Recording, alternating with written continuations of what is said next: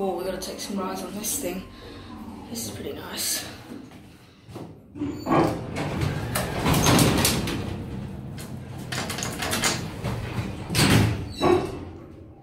Indicator is completely dead.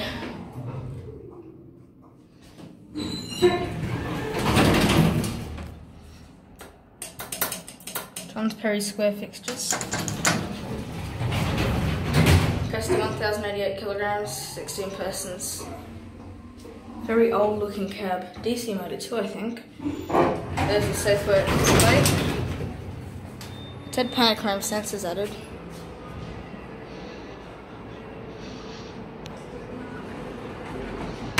That's it.